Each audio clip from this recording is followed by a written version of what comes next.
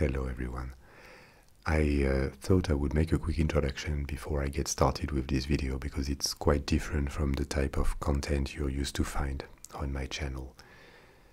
Maybe I should start by telling you about one of my favorite ASMR channels at the moment. It's called Southern ASMR Sounds. I'll put a link in the description. She's American, she lives in North Carolina, and she makes plenty of different types of videos, but the, the, the ones I prefer are funny role plays with different characters, all of them obnoxious and uh, very bitchy. Maybe you've seen it already, but there is a sub, sub, sub genre of ASMR videos with that type of role plays. I guess they don't work that much as far as triggering ASMR or sleep, even less, is concerned. But I think just the contrast of having someone uh, speaking gently and at the same time saying the worst things to someone else's face can be entertaining when it's well made. So I wanted to make something along the same lines. Now, Southern ASMR Sounds has various characters. I'll put more links in the description. There is a sanctimonious mother, there is a grumpy librarian, and there is also a gold digger called Charity, and I uh, picked her as my victim for uh, this video today. So uh, this video is just a one-off that I wanted to make for fun, and it's not intended to be soothing or cultural. I will return to my usual kind of videos, um, starting with the next one. If you are offended by cynicism, dark humor, classism, you probably want to pass on this one because you're going to be triggered. I think it begins relatively soft, but then uh, it worsens. So go check Southern ASMR Sounds, and I hope this puts a little smile on your face. I'll see you soon for a new video. Bye bye. Brigitte, est-ce que mon rendez-vous de 4 heures est arrivé? Okay, perfect. You remember what I said? The old man accompanying her, he's not the grandpa, no, he's the husband. Yes, yes, she's one of these. So try not to be more rude than necessary this time, okay? You can let them in now. Good afternoon, madame, monsieur. Please take a seat. I think you can push your husband a little closer to my desk. I'm not going to scream during the entire meeting. Perfect. So, thank you very much for being here today and almost on time. Uh, if that's fine with you, I'm going to tell you a little bit more about our agency and what we can do for you. Excellent. So, from the form you sent us online, I understand that you wish to buy an apartment in Paris, right? And make it your second home because, and I quote, you dream about the city of love. Really? Well, we'll see about that. So, uh, let me introduce myself. My name is Jean Francois, and I am the founder of the SAD agency. Yes, it's SAD like the Marquis de Sade. He was one of my ancestors. So, as you already know, we are a real estate agency, but we offer really much more than that, and especially for our foreign clients because I realized a few years ago that many foreign people, when they arrive in Paris, they make big dreams, of course, of living a classy, enlightened life. And then reality hits. I mean, they just realize that they're not up to it. So it's a blessing that you're here today, actually, because I'm going to be able to offer you much more than just a home. What we offer to foreign people like yourselves is a complete life and personality makeover so that you can fit in Paris. You understand? We always start with generally a pile of trash. I mean, by this, gross, uneducated, non French people, and we shape them, we transform them into beings worthy of this city. Now, I understand that it may sound like it's a lot, but don't worry, you are in very capable hands here. I've been doing this for more than 10 years. I've been transforming people in a way you could barely imagine. And this new life, this new you, is going to be my gift to you, Charity. Yes, my gift. Well, gift. It comes with a price tag attached, but really you will thank me later for that. And I suppose your husband is going to pay for everything, right? So why, why would you care? Well, speaking of your husband, he seems to be waking up right now. He wants to say something, I think. Maybe you should give him his teeth. Hello, sir. Hello. No, no, sir. I'm not Maurice Chevalier. No, he's dead. He's been dead for a very long time. And no, no, you're not in heaven. No, uh, well, some people would say yes because it's Paris, but uh, you're not dead, if that's your question. And no, no, I'm not Pepe Le Pew. No, stop it. I could unplug you, you know that? Okay, he seems to be gone again. Well, keep checking his vital signs. And I forgot to tell you, but if you need anything for a reanimation, we have everything at the reception. You know, we have a defibrillator. You're not the first gold digger to visit this office, so we are equipped. If you see that uh, the pulse is really disappearing, just let me know. I can call Brigitte and she will bring the defibrillator. I'm not going to touch your husband. This is your job, I mean, literally. But if you need help, just let me know. Okay, so uh, before we talk about your new apartment, let me see what I'm dealing with in the personality department.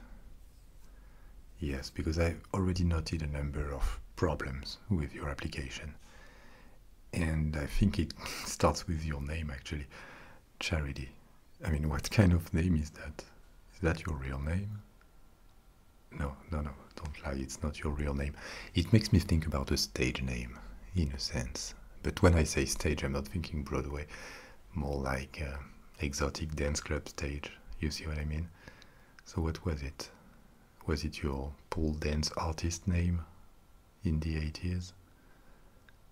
Okay, apparently you're going to lie. So let me just check the information because I've got a copy of your passport in my file. Oh, nice to meet you, Karen. I also see that you accidentally made a big coffee stain on your birth date, so you should have the document remade. But in the meantime, just tell me, what's your birth date? No, no, no, it's not 1986. No, seriously. No, no, stop. You, you don't need to tell me more. I mean, I've been doing that for a very long time. I'm experienced. You can't fool me. I'm starting to get a certain vibe from you. You know, I'm going to guess where you come from just by looking at you. So I would say your childhood first, early 70s, more likely late 60s, in a trailer park in the American Deep South. Am I right? No, no, no, no, Sherry, you're hilarious, you know. No, you didn't grow up in the Hamptons. And you certainly didn't spend your summers in Italy. I mean, if we were playing Jeopardy, I would ask things that never happened for $1,000. No, these are all big lies. Karen, you can't fool me. You, you're going to need to tell me the truth. Because you know what? I respect your tenacity. I know you're a fighter. You know, many women that come to my office, they're just like you. They're fighters. Right before you, I received a, a Russian businessman with his wife, underage, of course. And let me tell you, this woman, she grew up and she started worse than you. She grew up in some radioactive dumpster in Siberia in the years 2000. And look at where she is now. She's going to be a Parisienne. As I always say, with uh, big dreams and relatively good genes too, you can do anything in Paris. So now, stop hyperventilating and listen to me. To be successful in Paris, you're going to need to come up with a life story. We just cannot tell the true story because it's just pointless and sad. We cannot tell the lies you've been selling in your home country. I mean, maybe your story was believable where you come from. It's the new world, everyone has poor ancestors, they don't know better. But here, even your janitor is not going to believe you. I mean, it's going to be like a big stain on a tablecloth, very noticeable. Or, I don't know, like a puddle of vomit on the couch, you know, colorful vomit with extra carrots, everybody's going to see it. Everybody. What you've been trying to do, this cover up of your real life, it's like people with bad breath, you know? They will take a peppermint or a tic tac, and in a sense, it improves the situation a little bit, but it doesn't fix it. So when they talk to you, you feel like you're standing next to a pine tree, but you still smell the dead body rotting behind the tree. You see what I mean? Well, it's the same with your story. You see, your plebeian upbringing still shows behind everything you may say. So, what we need to do with you is really deep cleanse your biography, reinvent it. Okay? So, let me think about a credible story for you. Well, I see, I see Louisiana. I see it is in the south, so there has to be a plantation. Yes, a family plantation. I know. Old aristocratic family from France that emigrated to America, made a fortune there, and a few generations later, you need to reconnect with your roots and you lack the culture, so that's why you're here. You see, I'm good. This is a good story. This is the kind of story that makes people say hello to you in Paris. That's excellent. What? No, but I know it's not true. I mean, we're just replacing your lies with better lies. And don't pretend you just found a moral compass, please, because it doesn't suit you. Okay. And who knows after all? I mean, I suppose you don't know who your father is. So we know for sure that your story is fake, but mine could be true. You don't know. So, well. Okay, so I'll work on this and I'll come up with more details for your backstory that you will have to learn by heart. You just cannot afford to make any mistakes because people are going to ask questions about you. And uh, obviously, we're going to need many more billable meetings before we come up with something presentable. But we'll make good progress. Don't uh, worry about that. I'm sure in a few months you're not going to recognize yourself, which is a good thing. So now another thing I always discuss with my clients is their it's their general demeanor and uh, style or lack thereof. Uh, it's a cringy part of the meeting. I have to warn you. Oh no no, it's not not cringy for you. It's cringy for me. So uh, I have your file. Now I see you, and I must say something, Karen. This is completely wrong. Completely wrong. Uh, I don't even know where to start with you. Well, first off, you're constantly smiling. And nobody here is going to respect someone who looks that happy. I mean, everybody in Paris knows that happy means dumb. And when you smile like that, I don't know, it suggests that life is light and enjoyable. Everybody knows that it's not here, Karen.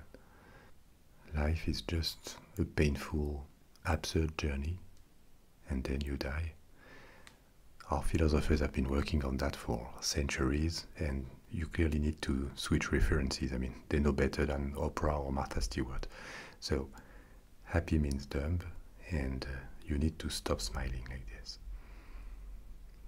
Now, another thing that is problematic with you are these big laughs that you make when you are uncomfortable. No, no, don't deny it. You've been doing it several times uh, since you arrived. You know these deep throat laughs like this when you are sending your chin to the to the sky and you are moving your hair and you sound like Shrek. You know what you look like when you do this? You look like a, brothel owner. Yes. Like a, a glowing brothel owner who just booked the entire facility for a group of tourists. So this needs to go. It's always going to be inappropriate. I don't know, it's like when you are at a funeral and in the middle of the ceremony you start playing hula hoop. I don't know, it can be anyone's funeral. It's never going to be acceptable. Okay, so this needs to go. Now, um, my next point is a big one. It's going to be the style issue. I'm not an expert on this, so you're going to have uh, an appointment with a stylist. But we need to do something about your clothes and your hair and the shoes and the nails. And even the fake tan, I mean, what is that? What is this color? There are plenty of skin tones on this planet and they can all look good, but this burnt orange that you have, it's nobody's color, Charity. It's impossible. So the, the stylist is going to have to remove this fake color with uh, acid. I'm sorry, there is no other method. And you may want to book two or three weeks in your calendar when you will stay at home because after the treatment, uh, you just cannot go out. People who would see you, they would believe they're in a nightmare and you're Freddy Krueger. So uh, uh, you need to anticipate this. What is the goal for your skin tone? Um, how could I find an example that you could understand? I think you're the kind of person who enjoyed the Twilight movies, right? And you think they're good movies. Sure, I knew it. So now remember the girl in the movie, the one who stares at everyone with her mouth open constantly. Yes, her. She has the skin tone you need to go for. You see, very understated, like barely alive, borderline vampiresque. This is to be your goal. And you can also learn from her general attitude. You know, this bored, slightly pissed off vibe that she gives. This would be useful in Paris. Because the thing is, you will never make friends in Paris if you are the happy, dumb American woman who finds everything awesome and likes to make too much noise about it. No, Karen, things are not awesome here. No, everything sucks, and people even more than things. But once again, no worry, we're here for you. You're going to have street behavior classes, and you will see the details with your professor. But the general idea is that when you walk in the street, you must learn to exude contempt towards people around you. They barely exist, you know. It must look like there is constantly something on your mind. It can be whatever you want your depression, your love triangle, or just this general concern we all share about the passing of time that ruins our lives like a wrecking ball in slow motion. So I'm not saying you have to be unhappy all the time. In the comfort and the privacy of your home, you can be as gross as you want. But when you're outside, you clearly need to look unhappy. And a place where you need to be particularly unhappy is every single restaurant and cafe where you will go once you live in Paris. I mean, you can never let the waiters insult you. Um, you can absolutely not let them think they have any influence of you on you. They're, they're cockroaches. So you need to make them understand that they are nothing to you, but you won't even take the time to crush them. It may look civilized out there, but believe me, it's not. It's the jungle. So you need to toughen up you want to uh, survive in this environment. Good. So, uh, next point. Oh, yeah, that's an important one. Uh, when do you plan on starting your diet? Because we can help you with that too. Uh, no, of course you need to start a diet. I mean, look at you. Where are your bones? I can't see them. No, look, I'm really open minded about weight in general. I mean, my wife was almost 100 pounds when we got married. But you will need to be on a diet at least 8 9 months per year when you live here. This is not negotiable. Now, don't, don't worry, because we've got a great program for that, and it's based on three big meals. no, stop, you're smiling again. No, stop smiling. It's three meals per week, so you see, you were wrong again. But don't, don't worry too much about the nutrition part of this program because it's not the core of it. Uh, to explain you, mm, did you see the Clockwork Orange movie? Perfect, because this is directly inspired by it. So during daytime, what we do is we, we put you in a room with a giant screen. On the screen, there are videos of people's mouth eating stuff. You also have headsets, and uh, we send you the eating sounds directly into your ears at 60 decibels. And we, uh, we make sure that you watch everything by uh, forcing your eyes open with staples extremely efficient. I mean, after just a few hours of this, you will never think about eating again. The three meals, you will think they are too much. Now, with everything I said, I understand it sounds a bit complicated, but it's really not. I mean, you just need to visualize the kind of woman you have to become.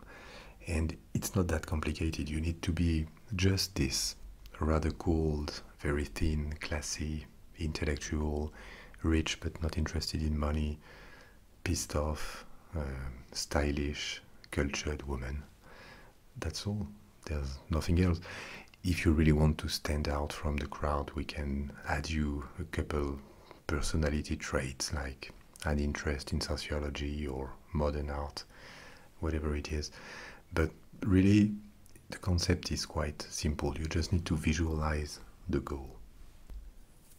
So, uh, this is your program for the next few days. You're starting tomorrow morning at 8 with your first cheese class. That's a funny one. And then you have hair and makeup at 10. Well, of course, they will never be done after just one session, but at least they can begin with the clearing. Um, that's another point I have to warn you about. They will try to give you a, more appropriate kind of cut uh, and uh, general appearance, but they need to find a balanced result, and it's a work in progress always. So, in the first few days after the first session, you may look a little bit like Rod Stewart, but once again, it's like the Freddy Krueger thing. It will pass, and uh, life will come back to normal eventually. For the rest of the day, I, I think you could use some catch up with your knowledge of constructivism.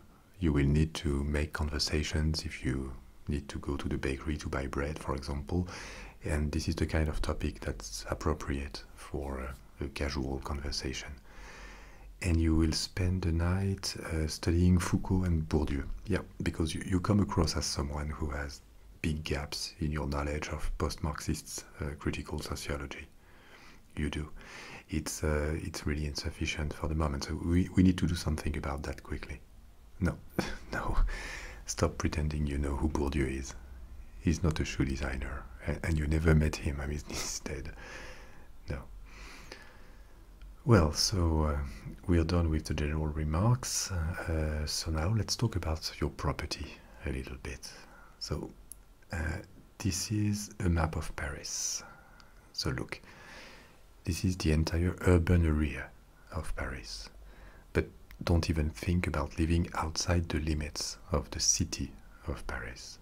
In this perimeter, you have about 2 million acceptable humans who live.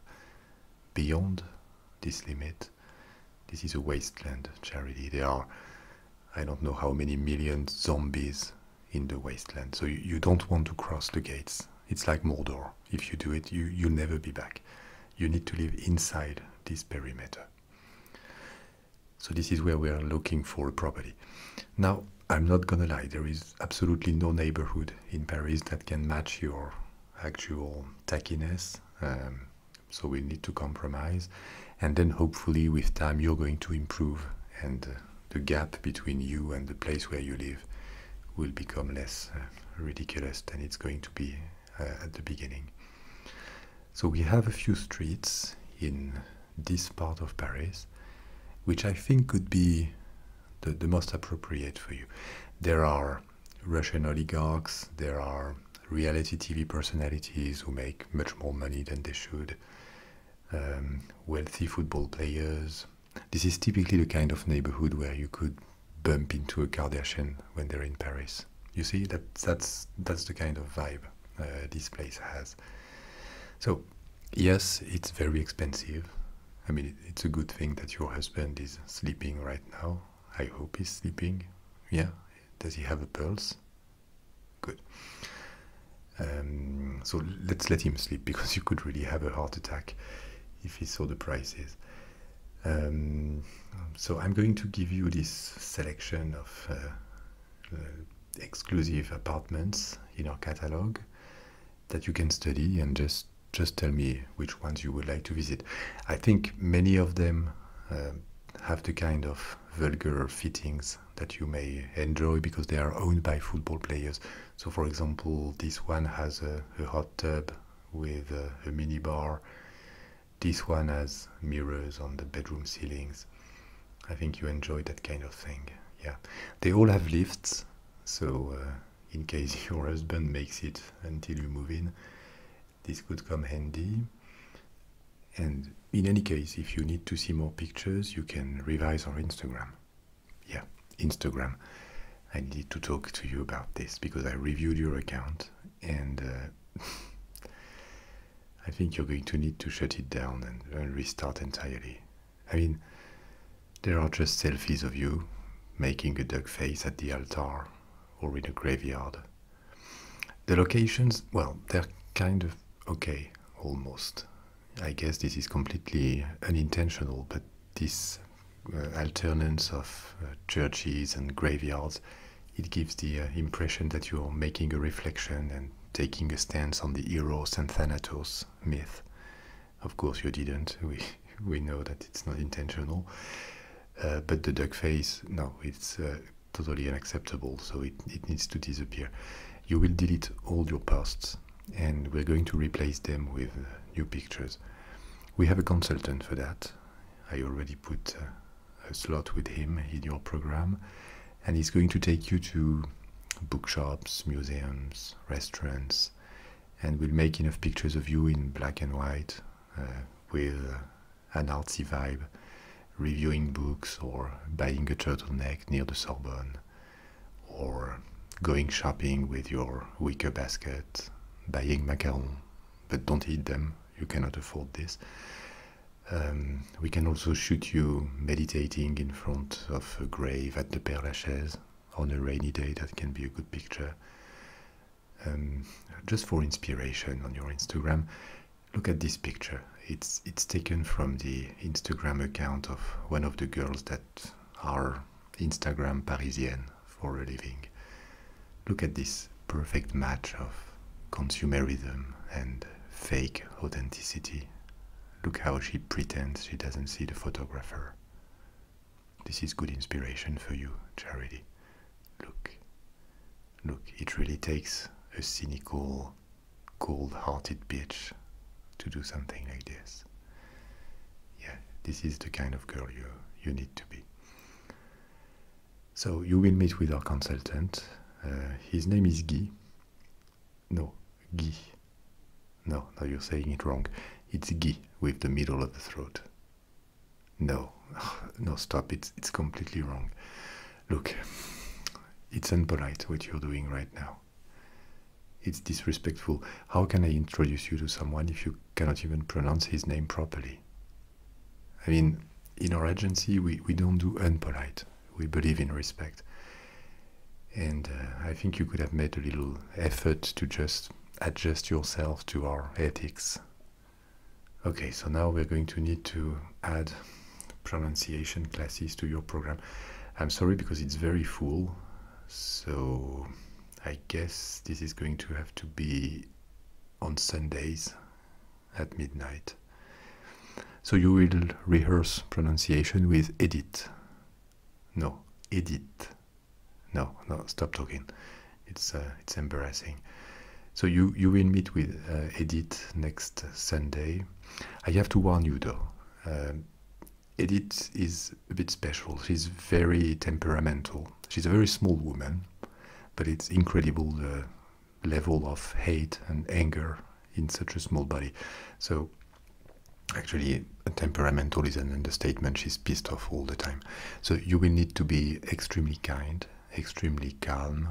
You will need to smile all the time. That's an occasion when your fake smile might be useful but you need to be extremely kind with her, like you are with the giant resins in a wheelchair that you pick for husbands. And don't feed her after midnight, never. Well, while we are on the topic of social networks, we also need to talk about Facebook. Yes, we do. First of all, Charity, why would you even be on Facebook? I mean, that was probably the right thing to do 10 or 15 years ago, but today, you know what Facebook is today? It's where the middle class goes to vent about their feelings. I mean, I hate this word. I mean, you can no longer be one of these people who go on Facebook to post inspirational quotes and uh, swallow conspiracy theories about vaccination. No. You think it makes you unique or interesting? Because it doesn't. I mean, I had a look at your page, and it's a collection of quotes like, nothing is impossible, keep calm and love life. Really? I mean, maybe you think that makes you look deep, but the only thing it suggests to me is that, I don't know, the biggest book you ever read was a sticker. No. No valuable philosophy can ever be summed up on a fridge magnet. No. So all this needs to go. You're going to uh, delete your Facebook page. It's gross to be on Facebook anyway. What are you doing with this? Okay, uh, I think we've gone through the main points already. So, voila, Charity. I think that was a good meeting. I was in a good mood today, so I, really spared you. So, you're going to start your program tomorrow morning, and uh, every week I will give you an assignment. Now, my assignment for you for next week is that you learn French, so we can have our next meeting in French. Oh, no, absolutely. I, I, mean, today I've been kind enough to speak your language because it's the first time. Uh, but I mean, you need to meet, you need to make your part of the work. I'm not going to always do everything for you. You need to work. Yeah, I know it hurts, but uh, this is what normal people do. So you have one week, and uh, I mean, sooner or later you will need to speak French if you live in Paris. I mean, if you just don't want to starve people are not going to serve you in grocery stores or bakeries if you don't speak the language. So you'd better start now. Okay, um, thank you very much for your time, and uh, I can't wait to see the first signs of the new you next week. Brigitte will help with uh, pushing your husband to the lift on the way out, and she can also call a car if you need one.